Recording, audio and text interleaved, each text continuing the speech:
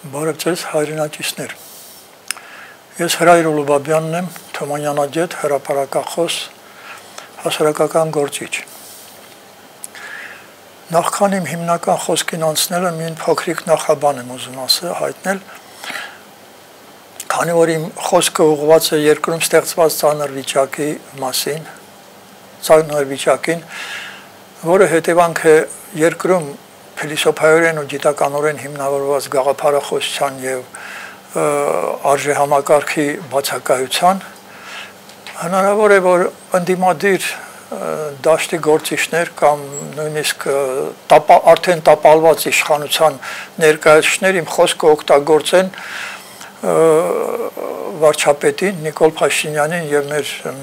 նոր Հայաստանի իշխանությանը քննադատելու համար նախապես ասեմ, որ երկրում այդ վիճակը ստեղծվել է ոչ վարչապետի օրոք եւ որևէ մեկն էլ թող չհամարձակվի այդ ուղությամբ խոսք ասել իմ իմ խոսքը օգտագործելով, որովհետեւ երկրում չկա փիլիսոփայություն, չի եղել այս անկախության տարիներին եւ գիտությունը կաղում էր բավականին լուրջ դեպով եւ կրոնն էլ նույնպես ես արդեն իմ խոսքում իմ խոսքում ասել եմ որ ընդհանրապես մարդու ինքնաճանաչման, մարդու ճանաչման եւ աշխարհ ճանաչման երեք հիմնական ուղիները կրոն, փիլիսոփայություն եւ գիտություն փակուղի են մտել խորթային միության փլուզումից հետո երբ հրաժարվեցինք մարքսլենյան փիլիսոփայությունից ու գաղափարախոսությունից բայց այդ իրավիճակը միայն մեզ մոտ չի, որ մեր որոշ մասնագետներ նշում են, որ ամբողջ աշխարհում է ճգնաժամ, քաոսային վիճակ։ Եվ այս իմաստով ես դեռ վարչապետի նոր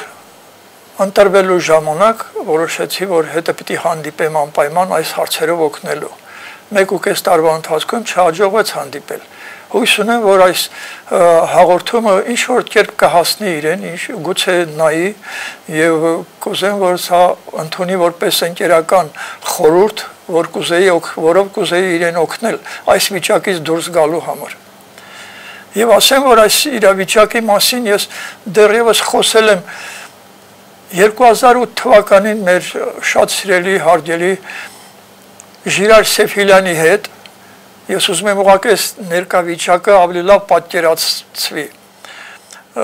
Երբ նա առաջին բանտարկումից հետո ազատության մեջ հայտնվեց 2008 թվականին,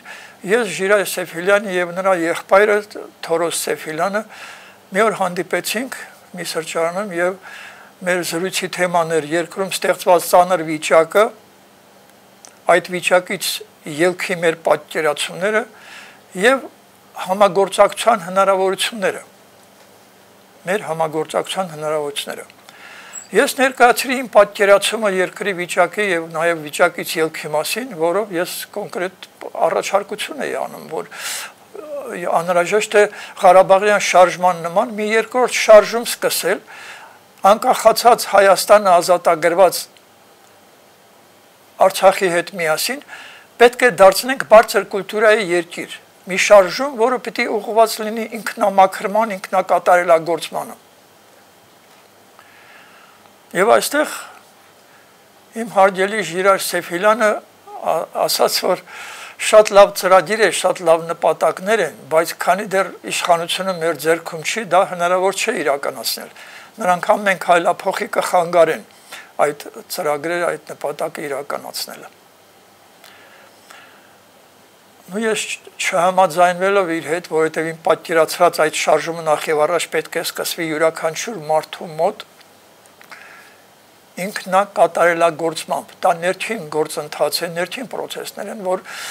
որևէ մեկը խանգարել չի կարող, դա մեկ։ Երկրորդ այդ իշխանությունների խանգարել է, եթե ինքը ասում է, որ իշխանությունները կխանգարեն եւ իշխանությունը պետք է վերցնենք մեր ձեռքը նոր այդ ծրագիրը իրականացնենք, ես հա, բացատրեցի, որ քանի որ հիմա ներկա պահին քո շուրջն էլ չկան, այնքան այնքան մարդ չկա, իմացող չկա,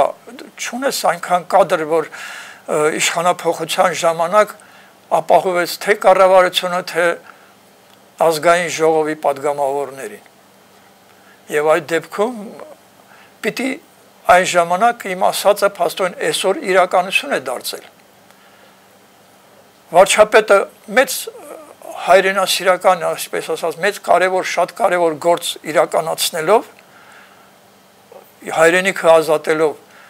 մի մեծ ճարիքից այդ իշխանապողությունը իրականացրեց, բայց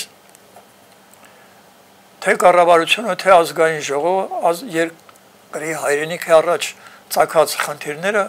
վիճակի չեն լուծելու այդ փիլիսոփայորեն դիտականորեն հիմնավորված գաղափարախոսության եւ արժե համակարգի բացակայության պատճառով պետք է ասեմ որ ես նախորդ գուցե հանդիպման ժամանակ արդեն ասել եմ իմ այս կանխազգացումը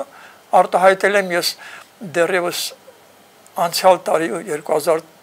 2018 թվականի ապրիլի 15-ին կարծեմ ազատության հրապարակում երկրորդ երրորդ օրներ որ Նիկոլ Փաշինյանը մտավ ազատության հրապարակ մի լրագրող Կովկասյան հանգույց Կովկաս Կյուզել պարա բարբերականի լրագրողներ ձայնագրիչը մոտեցնելով խնդրեց մի երկու խոսք ասեմ այդ գործընթացի Նիկոլ Փաշինյանի սկսած գործընթացի մասին, նրա գործունեության մասին։ Խնդրեցի անջատի ձայնագրիչը, որովհետև ես չէի ուզում որևէ բան ասել, որը կարող է թեկուզ չնչին ձևով խանգարել Նիկոլ Փաշինյանի գործունեությանը ասացի Նիկոլ Փաշինյանը գուցե մեծ դժվարությամբ, բայց հնարավոր է որ իշխանապողություն իրականացնի։ Բայց բարեփոխում կլինի երկրում թե չէ, դա հարցական է, որովհետև ճանենալով այդ փիլիսոփայորեն դիտականորեն հիմնավորված գաղափարախոսությունը եւ արժե համակարգը հնարավոր չէ երկրում որևէ ոլորտի զարգացման ծրագրեր մշակել, ընդհանրապես երկիրը զարգացնել։ Չի կարող օրինակ երկիր մի երկիր զարգանալ առանց գիտության զարգացման։ Իսկ այդ մարքսիզմից հրաժարված նյութապաշտական, աթեիստական հասարակությունը իր գիտնականների, դոկտոր պրոֆեսորների, փիլիսոփաների գլխավորությամբ պարզապես չի կարող այդ նյութապաշտական ճահճից դուրս գալ չեն կարող Եվ այսօր այդ ականատեսն ենք այդ վիճակի։ Եվ հիմա անցնեմ իմ հիմնական ասելիքին, որովհետև հիմնական ասելիքը այդ գաղափարախոսության, փիլիսոփայորեն եւ գիտականորեն հիմնավորված գաղափարախոսության եւ արժե համակարգի մասին պետք է լինի, բայց յուրաքանչյուրն էլ այդ ոլորտներ, ոլորտներ այդ թեմաները ծավալուն ոլորտներ են եւ ուղղակի սկսենք մեկից, ինչքան որ կհասցնենք։ Ես հիմա ուզում եմ ցույց տալ այն նույն գաղափարախոսությունը, որ անցյալ անգամ ես ցույց տվեցի վերնագիրը Դավիթ անհախտ Թումանյան նժդե Ագնի յոգա կամուրջ դեպի լուսավոր ու երջանիկ ապագա մեծ կուլտուրայի երկիր Հայաստան սա փակագծերում գրել եմ փրկարար հաղթական եւ զարգացնող գաղափարախոսության հիմնադրույթները 5 հիմնական նպատակներ եմ նշել 5 հիմնական նպատակներ եւ ավելացնեմ, որ մեր մեծերի այդ Թումանյանի, Նժդեհի եւ Ագնի յոգայի միջոցով խորհուրդներով այդ ուսուցիչների խրատներով ընտրել եմ ուղղակի այնպիսի իդեալներ որպես նպատակ որոնց ձգտելով միայն կարելի է մաքրվել, ինքնամաքրվել, կատարելագործվել եւ ոչ միայն անհատական, այլ նաեւ երկիրը,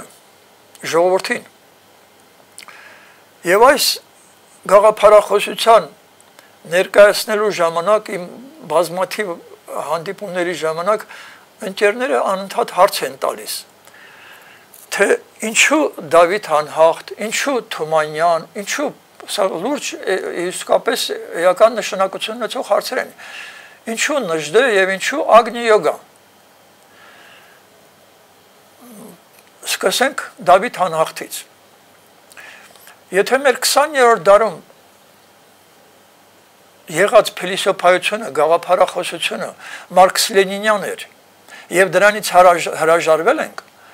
մենք տեղը ուրիշ մեր փիլիսոփաները խոստովանում են. Փիլիսոփայության ինստիտուտի տնօրենը մի քանի անգամ մեր հանդիպումների ժամանակ կամ դիտաժողովում իր ելույթում ասում էր մարքսիզմենիզմից հրաժարվելուց հետո ուրիշ մեթոդաբանություն չենք որթե գրել եւ մեր մասնագետները շարունակում են ստեղծագործել առանց այդ հարցին անդրադառնալու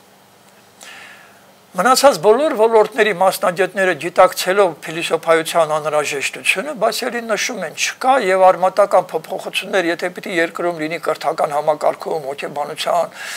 գրականագիտության, գրականության ոլորտում, ճանենալով այդ բոլոր ոլորտներում այդ քաոսային վիճակն է։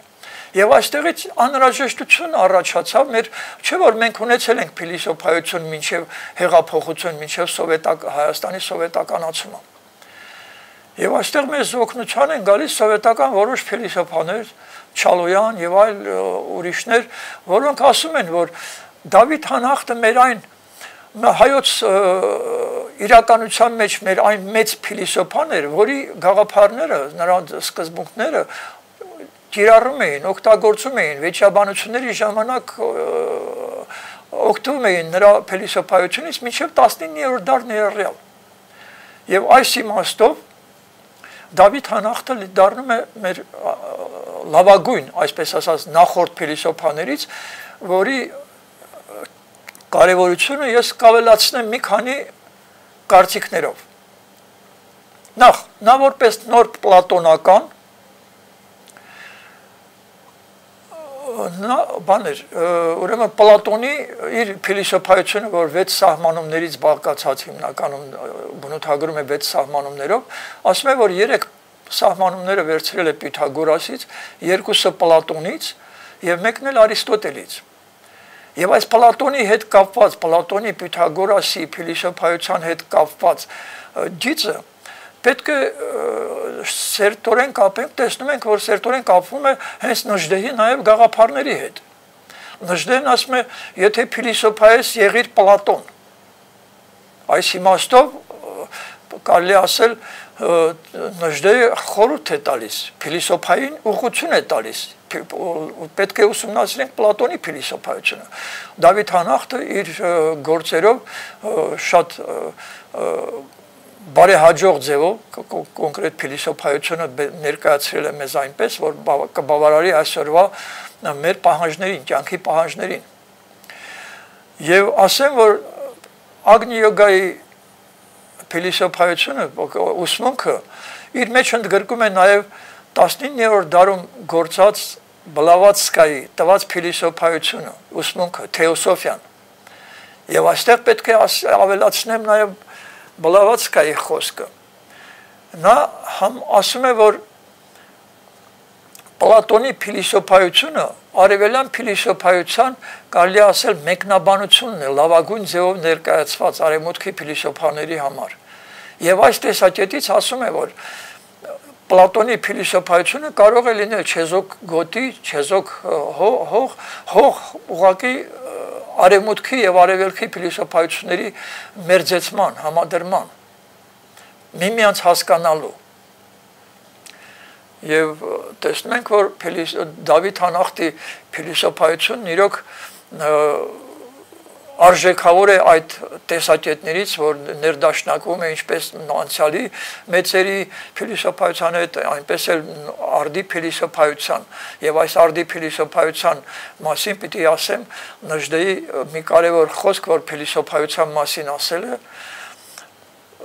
ուղղակի Նժդեի երկու կարևոր խոսքեր եմ ես անընդհատ օգտագործում փիլիսոփայության մասին, որոնցից մեկը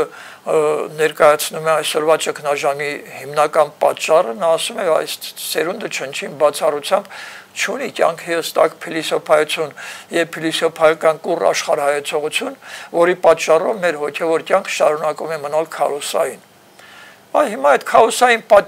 վիճակի պատճառը եթե փիլիսոփայությունն է, ապա այդ Դավիթ Հանախտով մենք որ պետք է լրացնենք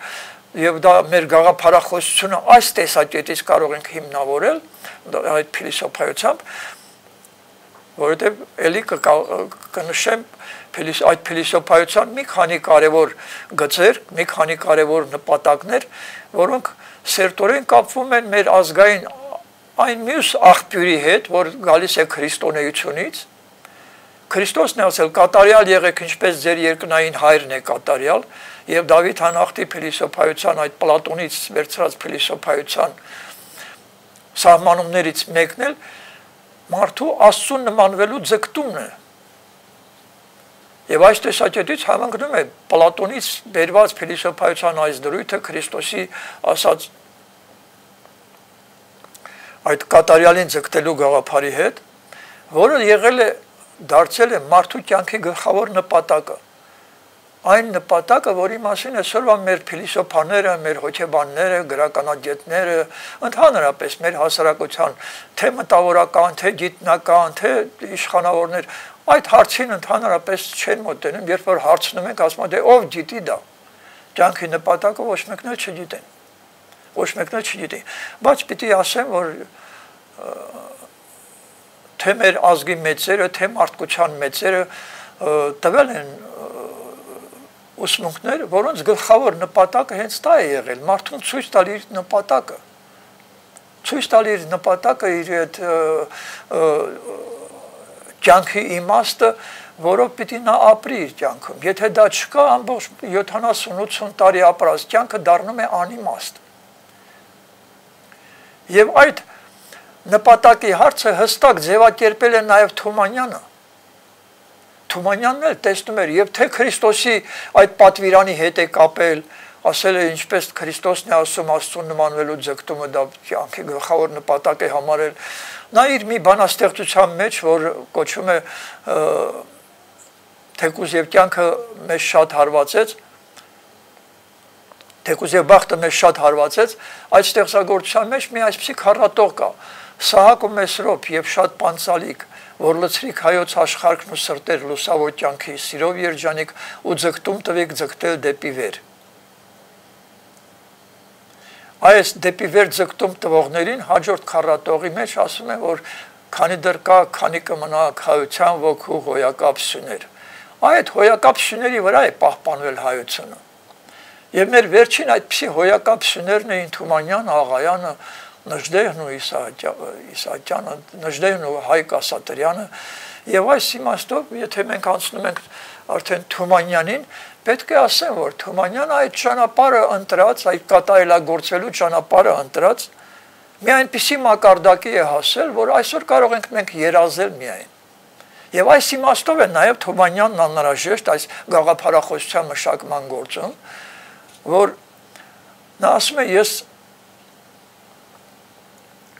պայծառատեսությամբ կարող եմ իմանալ այս կամ այն խնդրի պատասխանը։ Եւ քանի որ ինքը ողջ իր գիտակցական կյանքը նվիրել է ազգի փրկության գործին, այդ պայծառատեսությամբ նաեւ փնտրել է իմացել է ազգի փրկության խնդիրները, ճարի այդ վիճակի պատճառը եւ այդ պատճառի այս պատճառները վերացնելով լուծումն է ցույց տվել։ Եվ այս իմաստով է, որ ինձ համար Թումանյանն ու Նժդեհը կարևորվում են, որովհետև իրոք երկուսն էլ իրենց այդ մեր հայ մտքի եւ ոգու հսկաները իրենց ողջ գիտակցական կյանքը նվիրել են ազգի փրկության գործին եւ այդ փրկարար գաղափարները տրվել է տրվել է նրանց ստեղծագործության մեջ երկուսն էլ այդ գաղափարները իրենց ստեղծագործությունների մարտահայտում են Օրինակ նժդերն ասում այս ճշմարտություններ դիտեն, որ փրկել կարող են։ Եվ այս երկու մեծերը նաև մի այնպիսի կարևոր գաղափար են արտահայտել, որոնք այդ այդ, այդ որը մեզ մղում է նաև այդ երկ մյուս հիմքին, այդ գաղափարախոսության մյուս հիմքի անհրաժեշտությանը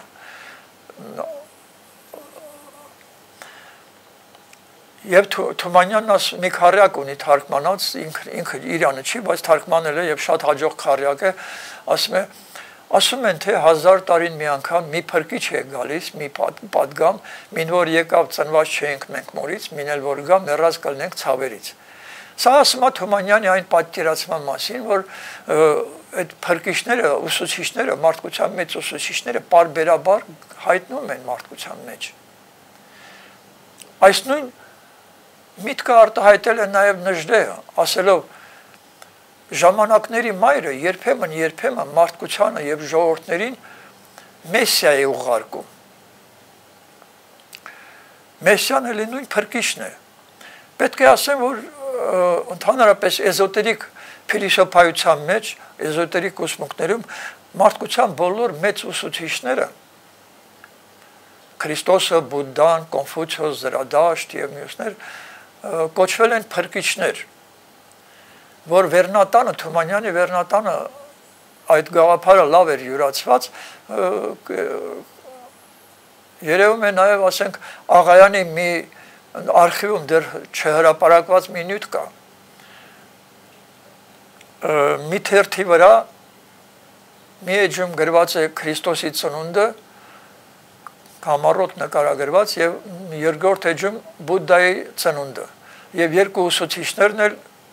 անվանված են փրկիչներ որպես մարդկության փրկիչներ եւ Ագնի յոգան էլ տալիս է փաստորեն եկել է ժամանակը տալու այն նոր ուսմունքը, որի մասին ասում են, այդ մեսիայի ժամանակն է եկել, քրիստոնեությունը սпасում է իր եր, Քրիստոսի երկրորդ գալուստին, բուդդայականները սпасում են Մայտրեյայի գալուստին եւ մյուս բոլոր կրոններում արտահայտված է այդ միտքը, որ կգա ժամանակ։ Եկել է այդ ժամանակը եւ այդ նոր ուսմունքը տրվել է դա ագնի յոգան է, որ ունի նաև մի շարք այլ անուններ, որոնցից մեկը հիմնական երկու անուններն էին Ագնի յոգան եւ կենթանի բարոյագիտություն, ժիվայա էթիկա։ Եվ կա նաև, ասենք, մի այլ անուն կյանքի ուսմունք։ Այսինքն ամբողջությամբ կյանքը կարգավորելու մասին է տրված է մարդկությանը եւ այ քանի որ մարդկությունն է ճգնաժամի մեջ, այսպիսի իրավիճակներում է հայտնում նոր ուսուցիչը եւ տալիս նոր ուսմունք, որ պիտի այս վիճակից հանվի մարդկությունը դուրս գա, օգտվելով այդ ուսմունքի գաղափարներից։ Եվ այս իմաստով ես 30 տարի որ զբաղվում եմ այս գաղափարախոսության հարցերով, իսկ 40 տարի է որ ուսումնասիրում եմ այդ փիլիսոփայությամբ, ուսումնասիրում եմ եւ դրա շնորհիվ է որ ես մեր մեծերին հասկացել եմ մեր մեծերի գաղափարները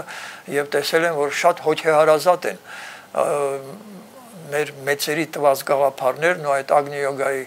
այդ ուսմունքի գաղափարները չկա որևէ հակասություն այլ ներդաշնակվում են եւ դրա միջոցով տրվում է այնպիսի արժեքներ, որոնց մասին կարելի ասել հենց այդ արժե համակարգ ստեղծելու նաև գաղափարներն են տված։ Այդ արժե համակարգ ստեղծելու մասին խոսել է նժդեը առանց արժե համակարգ ասելու, բայց իր բացատրությունը հենց դրա մասին է։ Նժդեն ասում է մի այսպիսի գործ ունի փոքրիկ ընտրանին։ Նրա մեջ ասում է մեր բանասերները, լեզվաջետները, պատմաբանները, հնաջետները պետք է անցյալից, մեր էպոսից, առասպելներից, հեքիաթներից բանահյուսությունից արժեքներ բերեն եւ դնեն արդիական փիլիսոփայության լույսի տակ։ Այս արդիական փիլիսոփայության լույսի տակ դնելը հենց այդ է նշանակում, որ պիտի մեր կստեղծենք նոր արժե համակարգ այդ նոր արժե համակարգը, այդ արդիական փիլիսոփայությունն էլ, որ Ագնի յոգան է, դրանց միջոցով շատ հա, մեծ հաջողությամբ կարելի է լուծել։ Անցյալի բոլոր երևույթները գնահատելու, ինչպես նաև խորհրդային շրջանի երևույթներ, նաև մեր այսօրվա մեր հենց մեր կյանք այս 30 տարվա անկախության տարիներին մեզ վրա թափվող այսպես բազմաթիվ արժեքների, այսպես ասած, վեր արժևորման խնդիրը լուծենք։ Եվ այս իմաստով այդ գաղափարախոսությունը, որի հիմքում ընկած են ճշմարտություններ, որ փրկել կարող են, ինչպես նժդեհն է ասում։ Առանց այդ ճշմարտությունների հնարավոր չէ այս երկիրը առաջ տանել, մեր երկիրը առաջ տանել որևէ ոլորտում զարգացման ծրագրեր մշակել հնարավոր չէ եւ մեր մտավորականները, մեր գիտնականները, մեր քաղաքական գործիչները պետք է նժդեի այդ մի շատ կարևոր խոսքը հաշվի առնեն եւ ամեն մեկը որ իր գործ ցեցելով ասում է հայրենիքի համար է գործում հայրենասեր է այդ հայրենասերության լավագույն չափանիշը իմ բազմաթիվ հրաապարակումներում բերել եմ եւ հիմա էլ կկրկնեմ նժդեի խոսքը Հայաստան եւ ճշմարտություն ահա իմ աստվածությունները հայրենասեր չես եթե կյանքը տրված չէ իսպաս սրանց որոնցից մեկին կարելի է ծառայել միայն մյուսի միջոցով Այսինքն մեր երկիրը, որ թաթախված է մինչև չգիտեմ, բոլոր ոլորտներում, կեղծիքի մեջ, այսօր մենք պետք է այդ կեղծիքից ազատվենք, այդ մեր մեծերի եւ ուսմունքի միջոցով։ Ուսմունքը օտար չէր մեր մեծերին, Պարզ երևում է Թումանյանի գործերը նրա գործունեությունը, որ մի քիչ ուշադիր նայում ենք, ես ուսումնասիրել եմ նրա արխիվում գրադ անձնական գրադարանում կան թեոսոֆիական ընկերության հրատարակած եւ գրքեր եւ թեոսոֆիայի ամսագրերի այն համարները, որտեղ հենց թեոսոֆիական ընկերության նպատակները հստակ ձևակերպված յուրաքանչյուր համարի վերջին էջում գրված է։ Թումանյանն իր ողջ գործունեությունը ուղղած էր այդ նպատակների իրականացմանը։ Նախ համամարտկային եղբայրության ստեղծելու գաղափարը մարդու եւ բնության գաղտնի ուժերի ուսումնասիրություն դու դա երրորդներ, երկրորդը կրոնների եւ փիլիսոփայությունների ուսումնասիրություն։ Իմ ուսումնասիրությունները ցույց են տալիս, որ հենց այդ երեք նպատակներն էլ իրականացրել է։ Հիմա մեր գաղափարախոսության հիմքում, որ ընկած են այս հիմնական նպատակները, իդեալներ, որոնց վերաբերյալ Նժդեհն ասել է իդեալ, իդեալապաշտություն, դա միակ միջոցն է, որի շնորհիվ տգեղ ու տկար հոգիներն ու նկարագրերը կգեղեցկանան, կբարձրանան, կփարթամանան։ Անիմաստ ու դատապարտելի է մարդկային կյանքը, եթե դա ծառայությունը չէ իդեալի, կատարումը բարոյական պարտականությանց։ Եւ այս տեսակետից ես իմ գաղափարախոսության հիմքում բոլոր ոլորտների համար ընտրել եմ նպատակ իդեալներ, Եվ այս տեսակետից այդ փիլիսոփ այդ գաղափարախոսությունը կարելի անվանել նաև իդեալաբանություն, այսինքն իդեալներ, որոնցից դենը մարդկային գիտակցությունը, մարդու միտքը չի կարող երևակայել, պատկերացնել, ել ինչ կարելի անել։ Պաստորեն մարդու կյանքի իդեալ, մարդկային փոխհարաբերությունների իդեալ, մարդ բնություն հարաբերությունների իդեալ, այստեղ պաստորեն պետք է ընդունենք մարդու եւ բնության ներդաշնակ համագործակցությունը, որը կարծես թե շատ արդիական խնդիր է, ամուսար լինի, թեղուտ լինի, թե մնացած բոլոր այդ վայրիվերումները, որ բնության բնություն ավերելով ուզում ենք արդյունաբերություն զարգացնել։ Մենք պետք է դադար առնենք այդ ավերածությունները կանգնեցնենք եւ նաեւ միջազգային մակարդակում լուրջ հայտարարություն անելով, որ Հայաստանը Արցախի հետ միասին պետք է դարձնենք բարձր կուլտուրայի երկիր։ Այս գաղափարախոսությունը հրապարակելու հրճակելու դեպքում կարող է Հայաստանը դառնալ աշխարհի համար փարոս, որովհետև ամբողջ աշխարհն է խառնված իրար քաոսային վիճակում, հին աշխարհը կործանվում է եւ նորն է ստեղծում։ Այս գաղափարախոսությունը ուղղված է այդ նոր աշխարհի կառուցմանը մեր երկրում Առայժմ այս սրանով ավարտվենք, հաջորդ հանդիպմանը կխոսենք ավելի մանրամասը այդ նպատակների իրականացման ուղղությամբ եւ ամենակարևորը Արցախի լուծման նոր տարբերակ, էզոտերիկ այս ուսմունքի, այս գաղափարախոսության տար, առաջ տարբերակը